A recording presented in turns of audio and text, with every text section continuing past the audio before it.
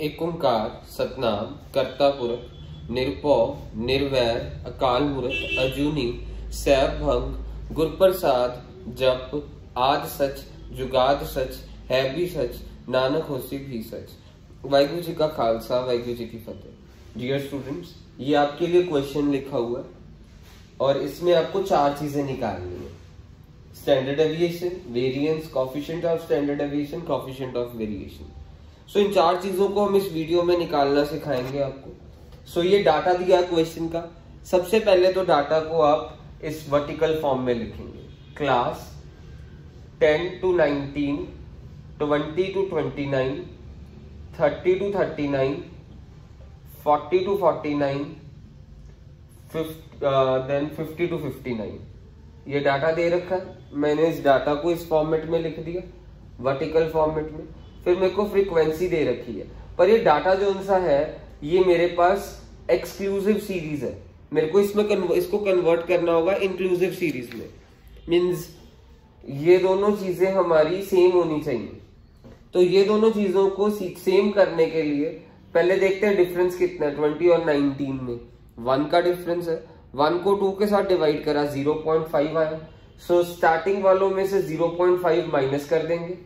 बाद वालों में से 0.5 प्लस कर देंगे तो 10 में से 0.5 करा माइनस 19 में 0.5 प्लस करा फिर 20 में से 0.5 माइनस करा स्टार्टिंग वालों में से 0.5 माइनस कर दे बाद वालों में 0.5 प्लस कर दे 30 में से 0.5 माइनस करा फिर 39 में 0.5 प्लस कर दिया 40 में 0.5 माइनस करा 49 में 0.5 प्लस कर दिया 50 में 0.5 माइनस करा और 59 में 0.5 प्लस कर दिया। ये क्लास हो गई है।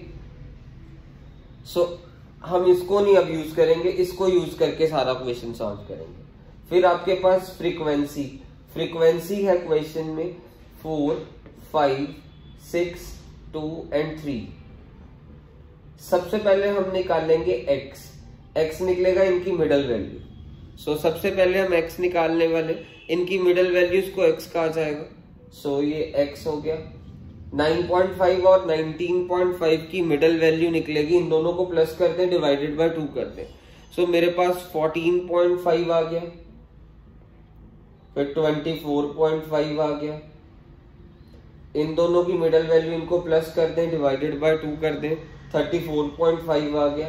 मिडल वैल्यू मैंने एक्स कह दिया इसको यानी मैंने प्लस करा डिवाइडेड बाय टू करा मेरे पास आ रही है मिडल वैल्यू 44.5 फिर इसको प्लस करा डिवाइडेड बाय टू करा मेरे पास मिडल वैल्यू आ रही है 54.5 ये x हो गया.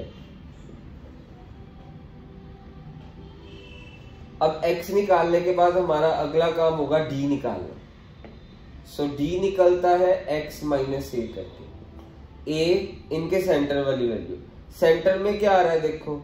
34.5 चाहे 24.5 जिसको मर्ज़ी ले ले, बस स्टार्टिंग एंड एंड वालों को मत ही लीजिए अगर मैं 34.5 को ए लेके करता हूँ तो भी कोई प्रॉब्लम नहीं है। 24.5 को ए लेके करता हूँ तो भी कोई प्रॉब्लम नहीं है। 44.5 को ए ले लू तो भी कोई प्रॉब्लम नहीं है। तो मैं इस क्वेश्चन में ए ले रहा हूँ 24.5 को। इसको ए ले लिया। आप 34.5 को भी ए ले सकते हैं। आप 44.5 को भी ए ले सकते हैं। So D is equal to X minus A यानी 14.5 माइनस ट्वेंटी फिर 24.5 माइनस ट्वेंटी फिर 34.5 माइनस ट्वेंटी फिर 44.5 माइनस ट्वेंटी 54.5 माइनस 24.5 यहाँ से मेरे पास डी निकल जाएगा और इनको प्लस माइनस करके आ रहा है मेरे पास माइनस टेन यहाँ पे आ रहा है ज़ीरो प्लस टेन देन यहाँ पे ट्वेंटी फिर यहाँ पे थर्टी ये डी आ गया। मैं इसको स्टेप डेविएशन से करना चाहता हूँ, क्योंकि सारे डी एक ही टाइम टेबल पे आ रहा है। सारा डी मेरा टेन के टाइम टेबल पे आ रहा है। तो मैंने क्या करना है, इस सारे डी को टेन के साथ डिवाइड करके डी डैश निकाल लेना डी को टेन माइनस टेन को टेन के साथ डिवाइड करा तो क्या आया? माइनस वन ज़ीरो टेन को टेन के साथ डिवाइड करा वन फिर ट्वेंटी को टेन के साथ डिवाइड करा टू थर्टी को टेन के साथ डिवाइड करा तो थ्री आया। अब अगला स्टेप रहेगा डी डैश का स्केयर निकाल लो। स्टैंडर्ड डेविएशन वगैरह ये चीज़ें निकालनी हो तो आप डी डैश का स्केयर निकाल लेंगे। तो माइनस वन का square plus one zero one four nine ये डी डैश का स्केयर आ गया। इसके बाद आप क्या करेंगे? एफ़ को पहले डी डैश के साथ मल्टीप्लाई करेंगे, फिर एफ़ को डी डैश के स्केयर के साथ मल्टीप्लाई करेंगे। ये आपको स्टेप्स बहुत इजी हैं। फिर एफ़ को पहले एफ़ डी डैश से मल्टीप्लाई करो, फिर एफ़ को डी डैश के स्केयर के साथ मल्टीप्लाई करो। फ्रीक्वेंसी फोर फोर को पहले डी डैश के साथ means four into minus one minus four five into zero that is zero six into one that is six two into two that is four then three into three that is nine ये F into D dash हो गया। फिर F को D dash के square के साथ multiply करेंगे। So four into D dash का स्केयर वन फोर फिर five into zero zero six into D dash का स्केयर वन सिक्स फिर two into four that is eight then three into nine that is twenty seven ये मेरे पास F D dash का square हो गया। अब मैं स्टैंडर्ड एविएशन निकाल लूँगा। स्टैंडर्ड एविएशन के लिए आप टोटल कर लें, एक तो एफ़ का टोटल कर लें। इसका टोटल आ रहा है चार प्लस पाँच, नौ, पंद्रह पंद्रह, तीन, अठारह और बीस। ये मेरे पास एफ़ बीस आ गया। फिर उसके बाद एफ़ डी डैश का टोटल कर लेंगे, क्योंकि इन तीन चीज़ों का टोटल चाहिए। एफ़ का एफ़ डी डैश का और एफ़ डी डैश के स्केयर का। तो एफ़ डी डैश को प्लस करके आया पंद्रह, इसको प्लस करके आया मेरे पास फोर्टी फाइव तो मैं सबसे पहला पार्ट क्या है? स्टैंडर्ड एविएशन निकालना। स्टैंडर्ड एविएशन का फॉर्मूला होता है, क्योंकि हमने स्टेप एविएशन मेथड लगाया। क्योंकि यहाँ पे डी डैश निकालना है। डी डैश जहाँ पे लगता है, उसे स्टेप डेविएशन मेथड कहते हैं। स्टेप डेविएशन मेथड से हम कर रहे हैं standard deviation step deviation method तो सिग्मा लोअर केस सिग्मा ये हमारे पास स्टैंडर्ड डेविएशन का सिंबल होता है। F D dash the square upon sigma F minus sigma F D dash upon sigma f ਦਾ ਹੋਲ ਸਕੁਅਰ ਸਕੁਅਰ ਰੂਟ ਦੇ ਬਾਹਰ c ਸਕੁਅਰ ਰੂਟ ਦੇ ਬਾਹਰ c. ਸੋ ਅਸੀਂ ਵੈਲਿਊਜ਼ ਫਿਲ ਕਰ ਦਵਾਂਗੇ। Sigma f d dash ਦਾ ਸਕੁਅਰ ਕਿੰਨਾ ਆਇਆ? 45 ਇੱਥੇ 45 ਲਿਖ ਦਾਂਗੇ। Sigma f f ਦਾ ਟੋਟਲ ਕੀ ਆਇਆ ਸੀ? 20 ਇੱਥੇ 20 ਲਿਖ ਦਿੱਤਾ। f d dash, ਇਹਦਾ ਟੋਟਲ 15 ਸੀ, f d dash ਦਾ।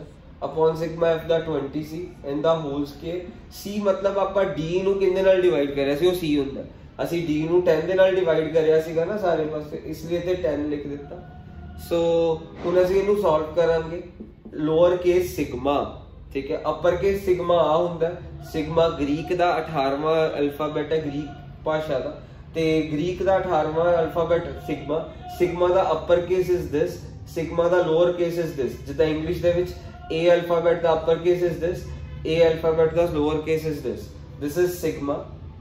Then ਇਹ sigma ਆਪਣੇ ਕੋਲ ਜਿਹੜਾ ਉਹਨਾਂ ਨੂੰ ਸੋਲਵ ਕਰਾਂਗੇ ਸਾਡੇ ਕੋਲ ਸਟੈਂਡਰਡ ਡੇਵੀਏਸ਼ਨ ਆ ਜਾਏਗਾ ਉਹਨੂੰ ਸੋਲਵ ਵਗੈਰਾ ਕਰਕੇ 12.99 ਇਹ ਸਟੈਂਡਰਡ ਡੇਵੀਏਸ਼ਨ ਹੋ ਗਿਆ ਫਿਰ standard deviation the square is called variance second part ਦੇ ਵਿੱਚ ਵੇਰੀਐਂਸ ਪੁੱਛਿਆ ਬੀ ਪਾਰਟ ਦੇ ਵਿੱਚ variance variance is standard deviation the square 12.99 ਦਾ ਸਕੇਅਰ ਇਜ਼ ਵਾਟ ਵੇਰੀਐਂਸ 12.99 ਦਾ ਸਕੇਅਰ ਕਰਾਂਗੇ ਉਹ ਸਾਡਾ ਵੇਰੀਐਂਸ ਹੋਊਗਾ that is 168.74 ਇਹ ਵੇਰੀਐਂਸ ਡਿਸਕਵਰ ਕਰਿਆ ਸੀ ਆਰ ਏ ਫਿਸ਼ਰ ਨਾਮ ਦੇ ਇਕਨੋਮਿਸਟ ਨੇ ਆਰ ਏ ਫਿਸ਼ਰ ਨਾਮ ਦੇ ਇਕਨੋਮਿਸਟ ਨੇ 1913 ਦੇ ਵਿੱਚ ਯਾਦ ਰੱਖਣਾ ਫਿਰ ਸੀ ਪਾਰਟ ਹੈ coefficient of standard deviation so अगला पार्ट है coefficient of standard deviation coefficient of standard deviation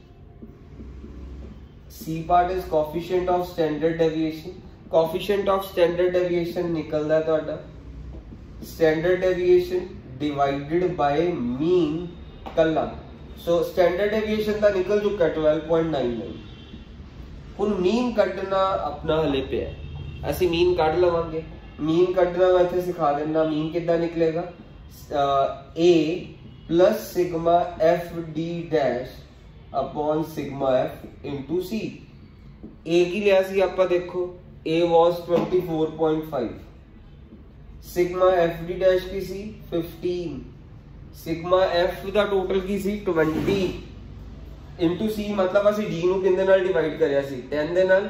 into 10 ਹੈ ਤੁਹਾਡੇ ਕੋਲ ਮੀਨ ਆ ਗਿਆ। ਇਹਨੂੰ ਪਲੱਸ ਮਾਈਨਸ ਕਰਕੇ ਸੋਲਵ ਕਰਕੇ ਤੁਹਾਡੇ ਕੋਲ ਆਏਗਾ। ਸੋ ਮੀਨ ਆ ਰਿਹਾ ਤੁਹਾਡੇ ਕੋਲ ਇਹਨੂੰ ਸੋਲਵ ਕਰਕੇ 32 ਸੋ ਮੀਨ ਆ ਰਿਹਾ ਤੁਹਾਡੇ ਕੋਲ 32 ਇਹਨੂੰ ਸੋਲਵ ਕਰਕੇ ਸੋ ਇੱਥੇ 32 ਫਿਲ ਕਰ ਦੋਗੇ ਕੋਫੀਸ਼ੀਐਂਟ ਆਫ ਸਟੈਂਡਰਡ ਡੇਵੀਏਸ਼ਨ ਆ ਜਾਏਗਾ that is 0.406